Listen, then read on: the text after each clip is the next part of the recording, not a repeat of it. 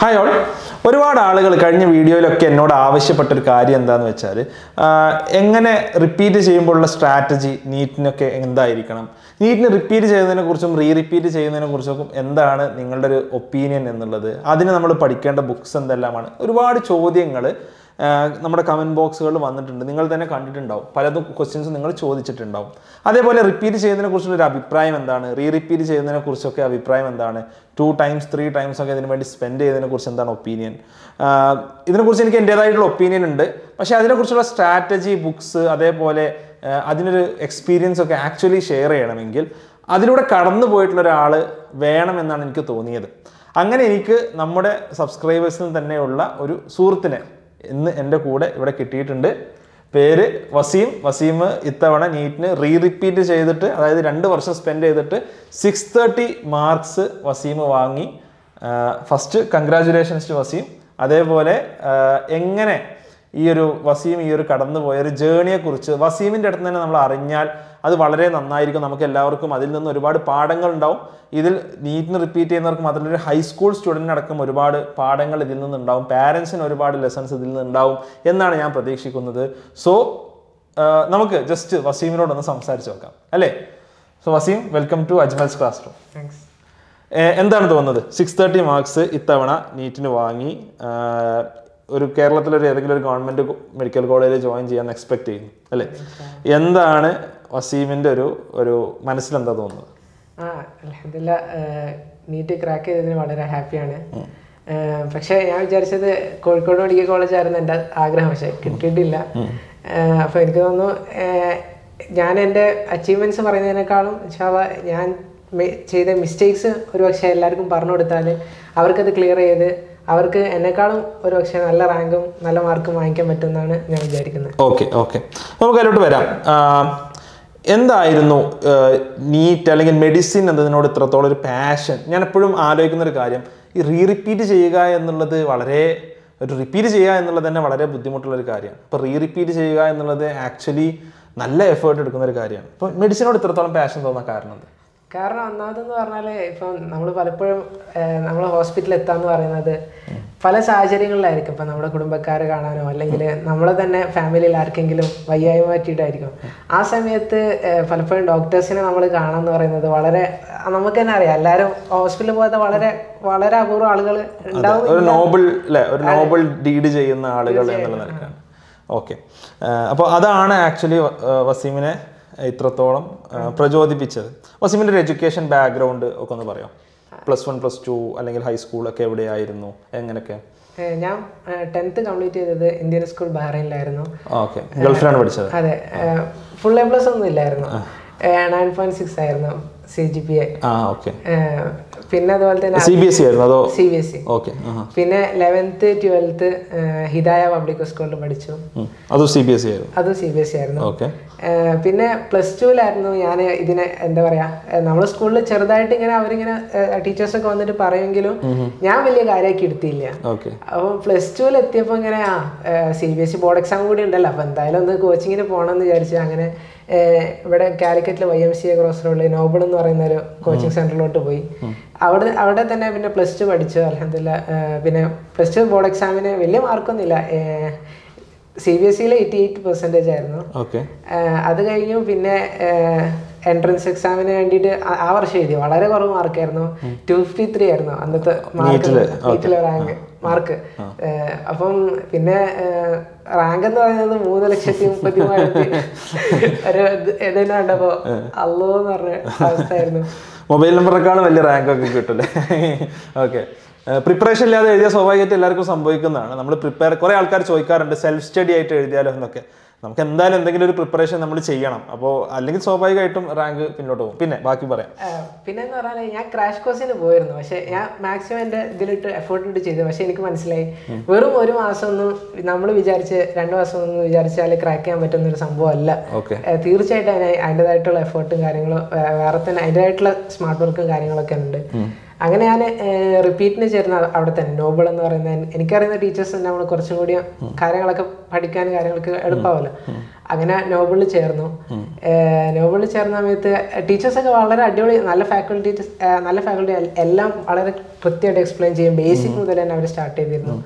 അങ്ങനെ അവിടെ പഠിച്ച് പക്ഷെ എനിക്ക് പറ്റിയ മിസ്റ്റേക്സ് എന്ന് പറഞ്ഞാൽ ഇപ്പം നമ്മളിപ്പോൾ അവിടെ എക്സാം നടത്തും. എക്സാം നടത്തി കഴിഞ്ഞാൽ ക്വസ്റ്റ്യൻ പേപ്പർ ഞാൻ ഇതാക്കും ജസ്റ്റ് ആ എക്സാം കഴിഞ്ഞാൽ പിന്നെ ഞാൻ ആ ക്വസ്റ്റ്യൻ പേപ്പർ നോക്കില്ല ജസ്റ്റ് അവിടെ പോയി മാർക്ക് നോക്കും. പിന്നെ അടുത്ത അടുത്തതിലോട്ട് വേഗം പഠിക്കും അതിനെ നമ്മളൊന്ന് റിവ്യൂ ചെയ്യൂല. അല്ലെങ്കിൽ ആ ക്വസ്റ്റ്യൻസ് നമ്മൾ പിന്നീട് എടുത്ത് നോക്കില്ല.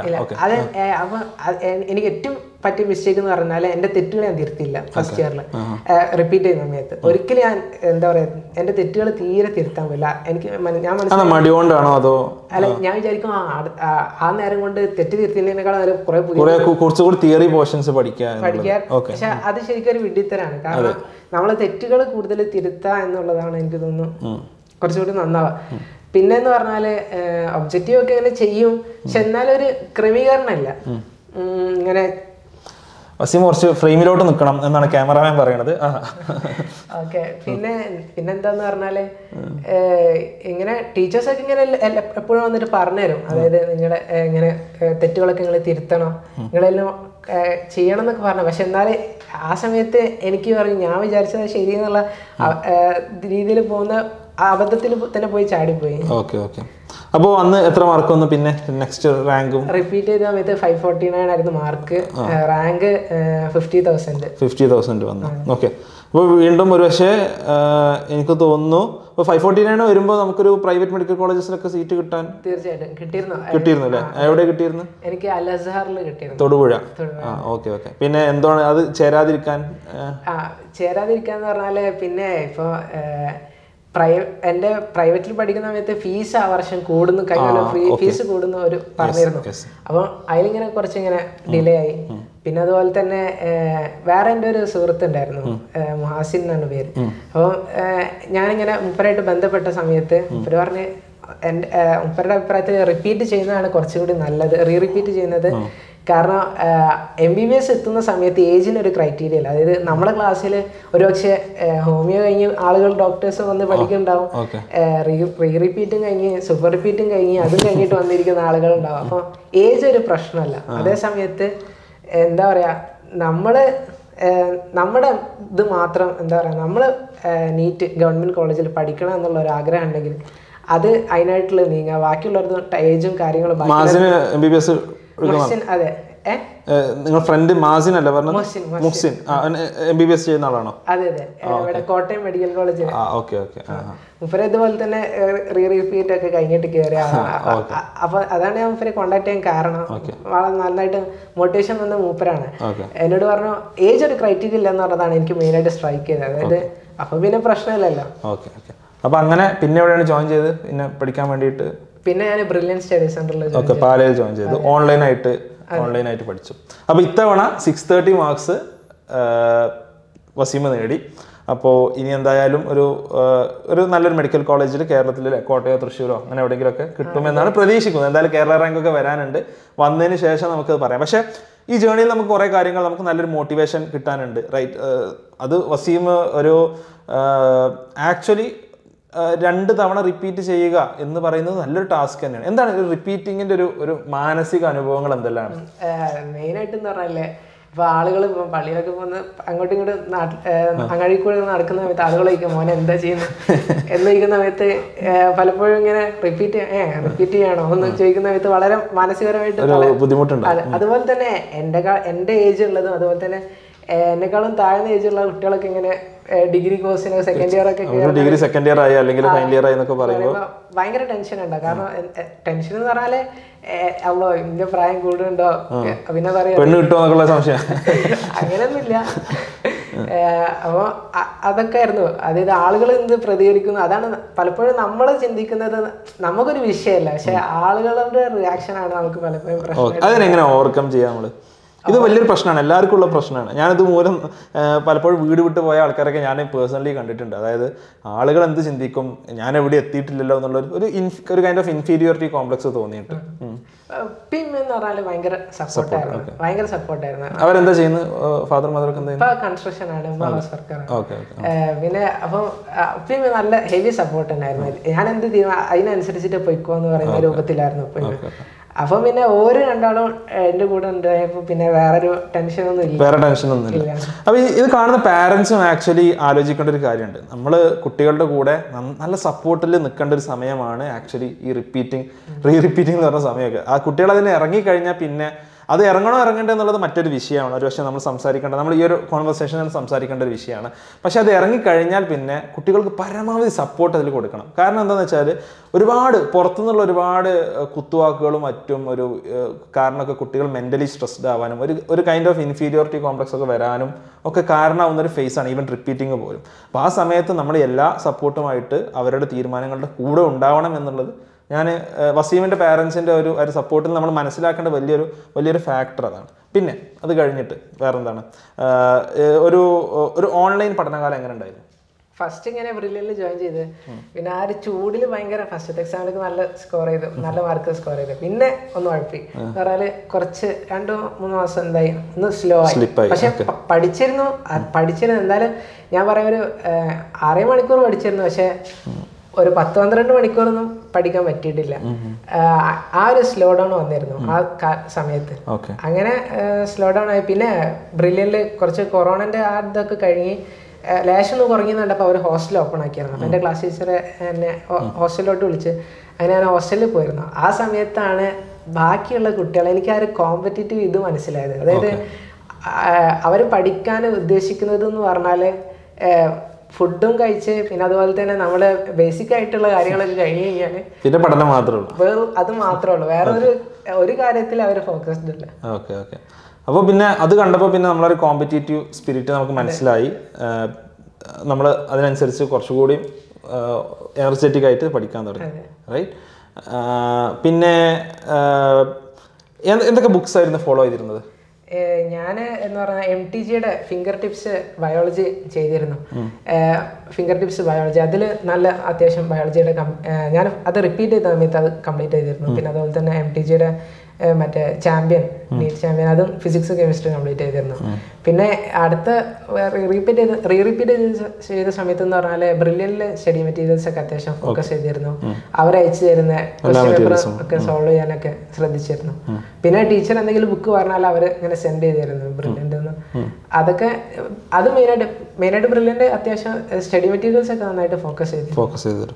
വേറെ എന്തെങ്കിലും എം ടി ജിയുടെ അല്ലാത്ത വേറെ എന്തെങ്കിലും മെറ്റീരിയൽസോ മറ്റു കാര്യങ്ങളൊക്കെ? നമ്മളൊരു N C R T for example N C R T എങ്ങനെയായിരുന്നു പഠിച്ചിരുന്നത്? ആ എൻ സി ആർ ടി എന്ന് പറഞ്ഞാൽ പക്ക ബയോളജി ഒക്കെ എന്ന് പറഞ്ഞാൽ ഹൈലി ബയോളജി വെറും എൻ സി ആർ ടി തന്നെ. ഞാൻ വേറെ ഒന്ന് പുറത്തുനിന്ന് ഒരു പോയിന്റ് കണ്ടേ ഞാൻ അങ്ങനെ തന്നെ വിട്ടുകൾ എന്ന് പറഞ്ഞാൽ ഇപ്പൊ അതിപ്പോ ഡ്രില്ലിലൊക്കെ എന്ന് പറഞ്ഞാൽ അത്യാവശ്യം പുറത്തുനിന്നൊക്കെ ചില സമയത്തൊക്കെ ക്വസ്റ്റ്യൻസ് പുറത്തുനിന്ന് വരും.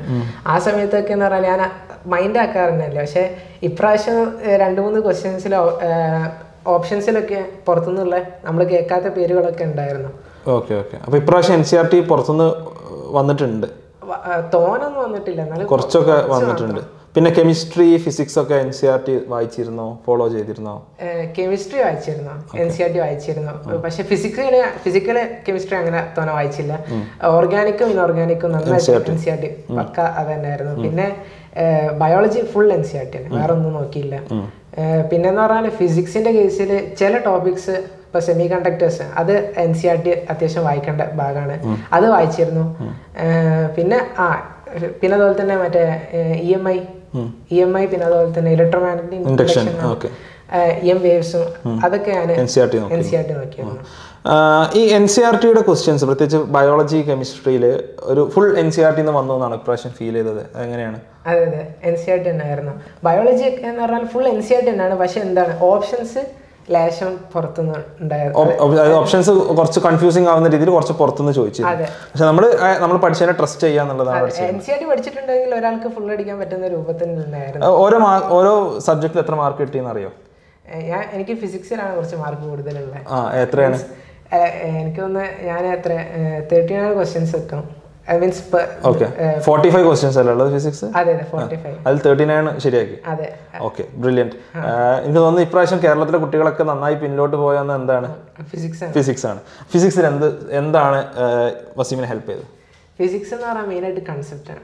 അത് അത് നന്നായിട്ട് ഫോക്കസ് ചെയ്യുക. എന്ന് പറഞ്ഞാൽ കൺസെപ്റ്റ് നന്നായിട്ട് നമുക്ക് ക്ലിയർ ആയി കഴിഞ്ഞാൽ പിന്നെ വേറെ ഒന്നും ടെൻഷൻ അടിക്കേണ്ട ആവശ്യമില്ല. ഈ കൺസെപ്റ്റ്സ് ക്ലിയർ ആക്കാൻ എന്താ? നമ്മൾ നിങ്ങൾ പഠിച്ചൊരു ടീച്ചേഴ്സിനെ ഫോളോ ചെയ്യണോ ചെയ്തത്? അതായത് ബുക്സ് അതിന് എക്സ്ട്രാ വായിച്ചു ടീച്ചേഴ്സിന്റെ ക്ലാസ് നന്നായിട്ട് ശ്രദ്ധിക്കണം. പിന്നെ അതുപോലെ തന്നെ വേറൊരു കാര്യം എന്ന് പറഞ്ഞാൽ ക്വസ്റ്റ്യൻസ് മാക്സിമം ക്വസ്റ്റ്യൻസ് അത് അതിൽ തന്നെയാണ് നമ്മുടെ അധികം നമുക്ക് കൺസെപ്റ്റ് റെഡി ആവുക. മാക്സിമം ക്വസ്റ്റ്യൻസ് വർക്ക് ചെയ്യുന്നതോറും തോറും നമ്മുടെ അതിലുള്ള എക്സ്പീരിയൻസ് എം ടി ജി ആണോ ഫോളോ ചെയ്ത്? എല്ലാ മെറ്റീരിയൽസ് ഫോളോ ചെയ്തു. അപ്പോൾ അതിൽ കുറച്ചുകൂടി മാത്തമാറ്റിക്കൽ ആയിട്ടുണ്ട് എന്നൊക്കെ തോന്നിയിരുന്നു ഇപ്രാവശ്യത്തെ ഫിസിക്സ് അങ്ങനെ ഒരു പരാതി കുട്ടികളുടെ കാര്യമായിട്ടുണ്ടല്ലോ. എനിക്കെന്ന് പറഞ്ഞാൽ മറ്റേ ഫസ്റ്റത്തെ തേർട്ടി ഫൈവ് ക്വസ്റ്റ്യൻസ് ഉണ്ടല്ലോ. അത് ഞാൻ ഏകദേശം കുറേയൊക്കെ കംപ്ലീറ്റ് ചെയ്ത്. അതിലാകെ ഒന്നോ രണ്ടോ ക്വസ്റ്റ്യൻസ് ആണ് പോയത്. പക്ഷെ മറ്റേ ആ വേറൊരു പതിനഞ്ച് ക്വസ്റ്റ്യൻസ് ഇങ്ങനെ അതിൽ പത്തെണ്ണം മാത്രം എഴുതിയാൽ മതി എന്നുള്ള ഇപ്രാവശ്യത്തെ ഒരു പുതിയ അതിൽ വെറും എനിക്ക് വെറും അഞ്ചെണ്ണം ഇട്ടേ ശരിയായിട്ടുള്ളൂ. ബാക്കിയുള്ള നാലെണ്ണം നെഗറ്റീവ് ആയി പോയി. അത്രയും ടഫായിരുന്നു മറ്റേ പതിനഞ്ച് ക്വസ്റ്റ്യൻസ് മറ്റേ ഫുൾ മാത്തമാറ്റിക്കൽ തന്നെ ആയിരുന്നു. ലേശം പ്രയാസം. അപ്പോൾ two thousand twenty twenty one right ഈ രണ്ട് വർഷത്തെ നീറ്റ് എഴുതിയപ്പോൾ ഫിസിക്സിന്റെ ഒരു ടഫ്നെസ് ലെവൽ മാറിയിട്ടുണ്ട് എന്ന് തോന്നിയിരുന്നു? അതെ അതെ നല്ല മാറിയിട്ടുണ്ട്. അതായത് ഫിസിക്സ് ട്വന്റി ട്വന്റിയിൽ നല്ല ഈസി ആയിരുന്നു. ട്വന്റി നയന്റീനിലും നല്ല ഈസി ആയിരുന്നു. പക്ഷെ ട്വന്റി ട്വന്റി വണ്ണിൽ അത്യാവശ്യം ഈ മാത്തമാറ്റിക്കൽ ആയതാണ് അതിനുള്ള കാരണം? അപ്ലിക്കേഷൻ ലേശം കൂടി കുറച്ചുകൂടി വന്നു അപ്പോൾ കുറേ സ്റ്റുഡൻസ് ഈ മാത്സ് സബ്ജക്റ്റ് എടുക്കാറില്ല. പ്ലസ് വൺ പ്ലസ് ടുവിന് മാത്സ് സബ്ജക്ട്സ് എടുക്കാറില്ല. അതിനെ കുറിച്ച് എന്താണ് എന്താണ്? ഞാൻ പഠിച്ചത് ബയോമാക്സ് ആണ്. മാത്സ് എന്റെ ഒരു കാഴ്ചപ്പാട് അധികം ഡിഫറൻഷിയേഷനും ഇന്റഗ്രേഷനും കാൽക്കുലസ് എന്നുള്ളത്. അതെ. പിന്നെ എനിക്ക് അങ്ങനെ വ്യക്തമായിട്ട് മനസ്സിലാവില്ല അവർ അവരെന്നെ ചിലർ പക്ഷെ പറയേണ്ടി വരും. ഓക്കെ. എനിക്ക് തോന്നിയിട്ടുള്ള ഒരു കാര്യം മാത്സ് പ്ലസ് വൺ പ്ലസ് ടുവിൽ നമ്മൾ അങ്ങനെ ഒരു കോമ്പിനേഷൻ എടുക്കാതിരിക്കുക എന്നുള്ളത് എന്താണ്? അത് വലിയൊരു അബദ്ധമാണെന്നാണ് എനിക്ക് തോന്നിയിട്ടുള്ളത്. കാരണം കുട്ടികൾക്ക് ഒരു ബേസിക്സ് ട്രിഗണോമെട്രിയോ കാൽക്കുലസോ അറിയാതെ പലപ്പോഴും ഫിസിക്സിലെ പ്രോബ്ലംസ് ഒന്നും അറ്റൻഡ് ചെയ്യാൻ പറ്റില്ല. മാത്രമല്ല ഒരു ബേസിക് മാത്തമാറ്റിക്കൽ സ്കിൽസും എന്തായിരിക്കും? അവർക്ക് മിസ്സിംഗ് ആയിരിക്കും തോന്നിയിട്ടുണ്ട് എന്താ എന്താ വസീമിന് അതിനെ കുറിച്ച് തോന്നിയിട്ടുള്ളത് ഇപ്പം ഫിസിക്സിന്റെ കേസിലൊക്കെ എന്ന് പറഞ്ഞാൽ ഇപ്പം മാത്സ് ഇപ്പം നമ്മൾ എന്താ പറയുക ടീച്ചേഴ്സൊക്കെ കുറേയൊക്കെ നമുക്ക് പറഞ്ഞു പറഞ്ഞുതരും. എന്തായാലും ഇപ്പം ബ്രില്ലിൽ ആയാലും ഇപ്പം നോബിളിലായാലും രണ്ട് സ്ഥലത്തും അവർ ബേസിക് മാത്തമാറ്റിക്സ് എന്ന് പറയുന്നത് സെപ്പറേറ്റ് ക്ലാസ് തന്നെ വെച്ചിരുന്നു ആ സമയത്ത് ആ- കുട്ടികൾക്ക് മെയിനായിട്ട് അവരെ ഫോക്കസ് ചെയ്തിട്ടാണ് വെച്ചത്. അപ്പോൾ അവർ മെയിനായിട്ട് എക്സ്പ്ലെയിൻ ചെയ്ത് ഡിഫറൻഷിയേഷൻ ഇന്റഗ്രേഷൻ പിന്നെ ലോകരിതം അതൊക്കെ പിന്നെ ഏകദേശം എല്ലാവർക്കും അറിയാം. ഓക്കെ ഇനി എന്താ എനിക്ക് ഇനി ചോദിക്കാനുള്ളത് കുട്ടികൾ ശരിക്കും റിപ്പീറ്റ് ചെയ്യാനും റീ റിപ്പീറ്റ് ചെയ്യാനും പാടുണ്ടോ? ശരിക്കും പറഞ്ഞാൽ അതിന്റെ ആവശ്യമുണ്ടോ? ഏഹ് ഇപ്പൊ ഇപ്പം നമ്മളിപ്പോ പ്ലസ് ടു കഴിഞ്ഞ്. ഇനി കിട്ടില്ല എന്നാണെങ്കിൽ റിപ്പീറ്റ് ചെയ്യുന്നതിന് ഒരു കുഴപ്പമില്ല. പക്ഷേ ഇപ്പം നമ്മളിപ്പം പത്താം ക്ലാസ് കഴിഞ്ഞ് ഇങ്ങനെ കുത്തിരിക്കുകയാണ്. അപ്പം പ്ലസ് വണ്ണിൽ പഠിച്ചുകൊണ്ടിരിക്കുകയാണ് ഒരു കുട്ടീനെ സംബന്ധിച്ചിടത്തോളം. ഒരു കാരണവശാലും ഇപ്പം നിങ്ങൾ ഇറങ്ങി കഴിഞ്ഞാൽ കഴിയുന്നത് റിപ്പീറ്റിംഗ് എന്ന സ്കോപ്പ് ഒഴിവാക്കുക കാരണം ഒരു വർഷം നിങ്ങൾക്ക് നഷ്ടമായി എന്ന് ഇത് മാത്രമല്ല എത്രത്തോളം ഒരു പ്ലസ് വൺ പ്ലസ് ടുവിൽ ഒരു മെന്റൽ ടെൻഷൻ അപേക്ഷിച്ച് നോക്കുമ്പോൾ റിപ്പീറ്റിംഗ് റീ റിപ്പീറ്റിംഗിലൊക്കെ ടെൻഷൻ എത്രത്തോളം ഉണ്ടോ അതെ ഇപ്പം ബ്രില്യനിലൊക്കെ ഞാൻ ബ്രില്യൻ പഠിച്ച അത് പറഞ്ഞാൽ ഓരോ എക്സാം കഴിയുമ്പോഴും ഭയങ്കര ടെൻഷൻ എന്ന് പറഞ്ഞാൽ ഇപ്പം പത്തായിരം കുട്ടികൾ തമ്മിലാണ് കോമ്പറ്റീഷൻ ഉണ്ടാവുക. അപ്പം ബ്രില്യൻ മാത്രം. അതെ. അപ്പോൾ അവരിൽ തന്നെ എന്റെ റാങ്ക് രണ്ടായിരം മൂവായിരമൊക്കെ വരുന്ന സമയത്ത് ഡെസ്പായിട്ട് ഒന്നായിട്ട് വീട്ടിലിങ്ങനെ കുത്തിരി അപ്പം ഇങ്ങനെ പറയും മതി എന്നൊക്കെ പറഞ്ഞിട്ട് ഭയങ്കര ടെൻഷൻ ആവാറുണ്ട്. അപ്പോൾ അപ്പം ബ്രില്യന്റ് തന്നെ ഇപ്പോൾ രണ്ടായിരം മൂവായിരം വരാണെങ്കിൽ പിന്നെ കേരള റാങ്ക് പിന്നെ അത്രയും ബാക്കോട്ട് ഫസ്റ്റ് കുറച്ചൊക്കെ നടുവിലൊക്കെ ആ ടൈമിൽ അങ്ങനെ ആയിരുന്നു റിപ്പീറ്റ് ചെയ്യാതെ തന്നെ ഇത് കിട്ടുമോ? അതിലെന്താ ചെയ്യേണ്ടത്? ആ അതെന്ന് പറഞ്ഞാൽ മെയിനായിട്ട് സ്മാർട്ട് വർക്ക് അതായത് അപ്പം ഇപ്പം എന്താ പറയുക ചില കോഴ്സുകൾ ചില ഇപ്പം ബേസ് ഫൗണ്ടേഷൻ ക്ലാസ്സുകൾ തന്നെ ഉണ്ട് തോന്നുന്നുണ്ട്. അപ്പോൾ പ്ലസ് വൺ പ്ലസ് ടുവിൽ എന്ന് പറഞ്ഞാൽ മെയിനായിട്ട് ഒബ്ജക്റ്റീവ് തന്നെ ഫോക്കസ് എന്റെ ഒരു ഫ്രണ്ട് ഉണ്ടായിരുന്നു. നോബിളിൽ ഉണ്ടായിരുന്ന ഫ്രണ്ടാണ് അശ്വിൻ എന്നായിരുന്നു പേര്. എനിക്ക് അവനെ മാത്രമാണ് അങ്ങനെ ആ ഒരു റേഞ്ചിൽ പരിചയം. അവന് പ്ലസ് ടുവിന് കൂടെ തന്നെ ജെ അഡ്വാൻസ് ക്രാക്ക് ചെയ്ത ഒരു കുട്ടി ഓക്കെ. അവന് എന്തായിരുന്നു എന്ന് പറഞ്ഞാൽ മെയിനായിട്ട് അവൻ ഒബ്ജക്റ്റീവാണ് ഫോക്കസ് ചെയ്തത്. ഒബ്ജക്റ്റീവ് ഫോക്കസ് ചെയ്ത സമയത്ത് പിന്നെ അതുപോലെ തന്നെ അവൻ ബോർഡ് എക്സാം ആയ സമയത്ത് അവന് previous year question paper board എക്സാമിന്റെ സോൾവ് ചെയ്ത്. അങ്ങനെ അവനക്ക് സി ബി എസ് സിയിൽ തന്നെ നയന്റി സിക്സ് പെർസെന്റേജ് ഇട്ടുണ്ടായിരുന്നു അപ്പം ഒരു കുട്ടിയെ സംബന്ധിച്ചിടത്തോളം ഒബ്ജക്റ്റീവ് കുറച്ചും കൂടി ഫോക്കസ് ചെയ്ത് കഴിഞ്ഞാൽ മറ്റേതും സബ്ജക്റ്റീവ് ആയിട്ടുള്ള ക്വസ്റ്റ്യൻസും ഈസി ആയിട്ട് ക്രാക്ക് ചെയ്യാൻ ക്രാക്ക് ചെയ്യാൻ പറ്റും. പലപ്പോഴും കുട്ടികൾ അത് ശ്രദ്ധിക്കാറില്ല അല്ലെ? ബോർഡ് എക്സാമിന്റെ പിന്നാലെ. എക്സ്ട്രാ പോകുന്ന ഒരു ഒന്നോ രണ്ടോ മാസം മുമ്പേ തന്നെ ജസ്റ്റ് ഒന്ന് ബോർഡ് എക്സാമിന്റെ ആ ഒരു ക്വസ്റ്റ്യൻസ് ഒക്കെ ഒന്ന് പാറ്റേൺ ഒക്കെ ചെക്ക് ചെയ്ത് കീപ്പ് അതിനു മുമ്പ് ശരിക്കും ആക്ച്വലി നമ്മൾ ഒബ്ജക്റ്റീവ് തന്നെ എങ്ങനെ നീറ്റോ അല്ലെങ്കിൽ ജെയ്യോ ഒക്കെ നോക്കുന്നുണ്ടെങ്കിൽ ഒബ്ജക്റ്റീവ് തന്നെ നമ്മൾ പോകേണ്ടതുണ്ട്. റൈറ്റ് അതേപോലെ ബ്രില്യന്റിൽ പോയപ്പോൾ ഇപ്പോൾ പല രീതിയിലുള്ള കുട്ടികളുടെ മത്സരിച്ചിട്ടുണ്ടാവും. റിപ്പീറ്റേഴ്സ് ഉണ്ടാവും ഗോയിങ് ബാച്ച് ഉണ്ടാവും. ഇതൊക്കെ ഉള്ളൊരു ഒരു ഫീലിംഗ് എന്താണ്? ആരാണ് ഏറ്റവും നന്നായി പെർഫോം ചെയ്യുന്നതായിട്ട് തോന്നിയത്? ആ ഗോയിങ് ബാച്ചിൽ തന്നെയുള്ള നേരിട്ട് പഠിക്കുന്ന കുട്ടികളുണ്ടാവും. അവരുടെ ചിലപ്പോൾ ഒരു ഫൗണ്ടേഷൻ പഠിച്ചു വന്ന കുട്ടികളുണ്ടാവും. റിപ്പീറ്റ് ചെയ്യുന്നവരും നിങ്ങളെ പോലെ റീ റിപ്പീറ്റ് ചെയ്ത ആളുകളൊക്കെ ഉണ്ടാവും. അങ്ങനെ അവരൊരു പെർഫോമൻസ് അല്ലെങ്കിൽ അങ്ങനെയൊക്കെ തോന്നിയിട്ടുണ്ടാവും. ഇന്ന ആളുകൾക്കാണ് ഒരു കൂടുതൽ അഡ്വാന്റേജ് ഉള്ളതെന്ന് തോന്നിയിട്ടുണ്ട്. അതായത് അവരെ സംബന്ധിച്ചിടത്തോളം എന്ന് അധികം ടോപ്പ് ടെന്നിൽ വരാൻ മറ്റേ കുട്ടികളായിരിക്കും. ഓൺ ഗോയിങ് ആയിട്ട് പ്ലസ് വൺ പ്ലസിന്റെ കൂടെ പഠിക്കുന്ന കുട്ടികൾ അത് എപ്പോഴും നമ്മൾ നോട്ട് ചെയ്യേണ്ട ഒരു കാര്യമാണ്. എപ്പോഴും ജെ ആവട്ടെ നീറ്റ് ആവട്ടെ ടോപ്പിൽ വരുന്ന കുട്ടികൾ എപ്പോഴും ഞാൻ നോട്ട് ചെയ്തിട്ടുള്ളത് പ്ലസ് വൺ പ്ലസ് ടുവിന്റെ കൂടെ പഠിക്കുന്ന കുട്ടികളായിരിക്കും. കാരണം ആ ഒരു എക്സ്ട്രാ പുഷ് അവർ അവർ നേരത്തെ ഫോക്കസ്ഡ് ആയിട്ട് ഇതിന് വേണ്ടി പഠിക്കുന്നുണ്ടാവും റൈറ്റ് അപ്പോൾ അത് എപ്പോഴും കീ ആയിട്ട് നമ്മൾ നോട്ട് ചെയ്യേണ്ട ഒരു കാര്യമാണ്. പിന്നെ അതുപോലെ തന്നെ ചില സമയത്ത് ഇങ്ങനെ മാറി മാറി വരും. ഓരോ എക്സാമിനനുസരിച്ച് അധികം ടോപ്പിൽ വരാം. അപ്പം ഇപ്പൊ ഇപ്രാവശ്യം റിലിൽ വന്നത് ആർ ആർ കവിനേഷ് പിന്നെ വേറൊരു കുട്ടി എനിക്ക് ഓർമ്മയില്ല പേര് ഫസ്റ്റ് റാങ്ക് അവരൊക്കെ എന്ന് പറഞ്ഞാൽ ഓൺഗോയിങ് ബാച്ച് സ്റ്റുഡൻസ് ഓക്കെ അപ്പോൾ അങ്ങനെയൊക്കെയാണ് കാര്യങ്ങൾ. ഇനിയും ആക്ച്വലി കുറേ കാര്യങ്ങൾ വസീമിന്റെ അടുത്ത് നിന്ന് അറിയേണ്ടതുണ്ട്. എന്താണ് ഒരു നീറ്റിന് റിപ്പീറ്റ് ചെയ്യുന്ന ഒരു സ്റ്റുഡന്റിനെ സംബന്ധിച്ചിടത്തോളം നൽകാനുള്ള ഒരു അഡ്വൈസ് ഒരു സ്ട്രാറ്റജി ഇനി ഇനി ഒരു ആറ് മാസമാണല്ലോ ഉള്ളത്. എന്തൊരു സ്ട്രാറ്റജിയാണ് നൽകുക? എന്താന്ന് പറയാനുള്ളത് ഇപ്പം ഇപ്പം ഈ ടൈമിൽ തന്നെ മെയിൻ ആയിട്ട് എൻ സി ആർ ടിയിലുള്ള ഫിസിക്സിലെ ക്വസ്റ്റ്യൻസ് ഫുൾ കംപ്ലീറ്റ് ചെയ്ത് തീർക്കുക അപ്പോൾ നമ്മളെ കൊണ്ട് ബ്രില്ലിൽ അങ്ങനെ ഇരുന്ന് ചെയ്യിപ്പിച്ചത്. ഫുൾ ബേസിക് എല്ലാ എൻ സി ആർ ടി കാരണം അതിൽ തന്നെ കുറേ കവർ ചെയ്ത് കുറേ എല്ലാം മാക്സിമം കവർ ചെയ്ത് പോകും പിന്നെ എന്ന് പറഞ്ഞാൽ ഇപ്പം നിങ്ങൾ ഇൻസ്റ്റിറ്റ്യൂട്ടിൽ തരുന്ന എക്സാംസും അതുപോലെ തന്നെ അവർ തരുന്ന ഓരോ ക്വസ്റ്റ്യൻ ബാങ്കും ഒക്കെ നന്നായിട്ട് അത് കംപ്ലീറ്റ് നന്നായിട്ട് ചെയ്യുക. അവർ തരുന്ന അധികം പ്രീവിയസ് ഇയർ ആയിരിക്കും. പിന്നെ ഈ- സമയത്ത് മെയിനായിട്ട് ഫോക്കസ് ചെയ്യുന്നത് എൻ സി ആർ ടി തന്നെ മെയിനായിട്ട് ഫോക്കസ് ചെയ്യും N C R T questions കെമിസ്ട്രിയിൽ ഫിസിക്കലായിട്ടും അതും N C R T questions തന്നെ നന്നായിട്ട് ഫോക്കസ് ചെയ്താൽ ക്രാക്ക് ചെയ്യാൻ പറ്റുന്നത്. ഓക്കെ അപ്പോൾ എൻ സി ആർ ടിനെയാണ് നമ്മൾ ഇപ്പോഴും ഒരു നീറ്റിന് എപ്പോഴും ഒരു ഫോക്കസ് ആയി എടുക്കേണ്ടതെന്നാണ് പറയുന്നത്. ഒരു ഒരു പേഴ്സണൽ ലെവലിൽ എന്താണ് ഒരു പഠനത്തിന് ടൈം ടേബിൾ അല്ലെങ്കിൽ ഇങ്ങനത്തെ കാര്യങ്ങളൊക്കെ എങ്ങനെയാണ്? അല്ലെങ്കിൽ ലേണിംഗ് സ്ട്രാറ്റജീസ് ഒക്കെ എന്തൊക്കെയായിരുന്നു? ആ എനിക്ക് മെയിനായിട്ടും പറയാനുള്ളതെന്ന് പറഞ്ഞാൽ നന്നായിട്ട് ക്വസ്റ്റ്യൻ പേപ്പർ സോൾവ് ചെയ്യണം സോൾവ് ചെയ്യണം. അതായത് പ്രീ നീറ്റിന്റെ പ്രീവിയസ് ഇയർ ആയാലും ഇപ്പം വൺ എയ്റ്റി ടു ഹൺഡ്രഡ് ഇപ്പൊ ടു ഹൺഡ്രഡാ അത് നന്നായിട്ട് ഇപ്പം ഇപ്പം തന്നെ തുടങ്ങാൻ പറ്റുകയാണെങ്കിൽ അത്രയും ബെറ്റർ എന്ന് നമ്മളിപ്പോൾ നമ്മൾ പലപ്പോഴും നമ്മൾ question paper previous year solve ചെയ്യാത്ത പറഞ്ഞാൽ ഞാൻ കുറച്ചും കൂടി പഠിക്കും. എല്ലാ ചാപ്റ്ററും കഴിയട്ടെ. കഴിയട്ടെ എന്നുള്ള അത് വളരെ റോങ് ആയിട്ടുള്ള കാര്യം. അപ്പൊ എനിക്കതിൽ അങ്ങനത്തെ അബദ്ധം തോന്നാൻ പറ്റിയിട്ടുണ്ട്. അപ്പോൾ റിപ്പീറ്റ് ചെയ്ത സമയത്ത്. അപ്പോൾ വേഗം മാക്സിമം ക്വസ്റ്റ്യൻ പേപ്പർ സോൾവ് ചെയ്യുക എന്നിട്ട് അതിലിപ്പോൾ എന്ത് തെറ്റിയിട്ടുണ്ടെങ്കിൽ ആ കൺസെപ്റ്റ് ഫുള്ളായിട്ട് എൻ സി ആർ ടിയിൽ നോക്കുക. അല്ലെങ്കിൽ അപ്പം തന്നെ അതിൽ തന്ന ഡിസ്ക്രിപ്ഷനിൽ എന്തെങ്കിലും വായിച്ചു നോക്കാം ആ, അ- അങ്ങനെയാണെങ്കിൽ കുറേ നമ്മൾ പോർഷൻസ് തന്നാലെ തന്നെ ഓട്ടോമാറ്റിക് ആയിട്ട് കവർ ചെയ്ത് പോകുന്നുള്ളതാണ്. പിന്നെ അതുപോലെ തന്നെ നന്നായിട്ട് ഈ പഠനത്തിന് വേറെ എന്ത് സ്ട്രാറ്റജീസ് ആണ്? പഠിക്കാൻ വേണ്ടിയിട്ട് എന്തെങ്കിലും മെത്തേഡ്സ് ഉപയോഗിച്ച് ആ മെത്തേഡ്സ് എന്ന് പറയുന്നത് ഞാനിങ്ങനെ മതിൽമേലെ കൊട്ടിച്ചേക്കായിരുന്നു ലേശം റീ റിപ്പീറ്റ് ചെയ്യുന്ന സമയത്താണ് ഇങ്ങനത്തെ സ്വഭാവങ്ങളൊക്കെ കുറച്ചായിട്ട് എന്താ ഇപ്പൊ ഇപ്പൊ എനിക്ക് ടഫായിട്ട് തോന്നി തോന്നിയെന്ന് പറഞ്ഞാൽ കെമിസ്ട്രി എവരിയുടെ ലൈഫിലെ എക്സാമ്പിൾസ് ആണ്. അതായത് ഈ സിമെറ്റിയുടെ എന്നൊക്കെ പറഞ്ഞിട്ട് ഇങ്ങനെ തോന്നിയ എക്സാം അപ്പോൾ അതിലൊക്കെ എന്ന് പറഞ്ഞാൽ ഇപ്പോൾ പിന്നെ അതുപോലെ തന്നെ ബാർബിറ്ററിൻസ് എന്നൊക്കെ പറഞ്ഞിട്ട് ഇങ്ങനെ കുറേ എക്സാമ്പിൾസ് ഒക്കെ ഉണ്ടാവും. അപ്പോൾ അത് ചോദിച്ചു അപ്പോൾ അതൊക്കെ ഇങ്ങനെ ഓപ്ഷനിൽ വന്നു കഴിഞ്ഞാൽ മൊത്തം കൺഫ്യൂഷൻ ഉണ്ടെന്ന് വിചാരിച്ചിട്ട് ഞാനിങ്ങനെ അതിന്റെ സ്ട്രക്ചർ അടക്കം ഇങ്ങനെ വരച്ച് വെച്ചിരുന്നു. അതിങ്ങനെ ഓരോ ഇതിലും എണീച്ച് വായിച്ചു നോക്കാൻ ഓക്കെ ഒരു മോട്ടിവേഷൻ കിട്ടാൻ എന്താ ചെയ്യാറുള്ളത്? മോട്ടിവേഷൻ കിട്ടാറുള്ളതെന്ന് പറഞ്ഞാൽ നമ്മൾ ഡൗൺ ആവുമല്ലോ അല്ലേ? ഞാനിങ്ങനെ യൂട്യൂബിൽ ഇങ്ങനെ എടുക്കും. യൂട്യൂബിൽ എന്തെങ്കിലും വീഡിയോസ് ഒക്കെ മോട്ടിവേഷണൽ വീഡിയോസ് ഒക്കെ കാണും. സെർച്ച് ചെയ്യും.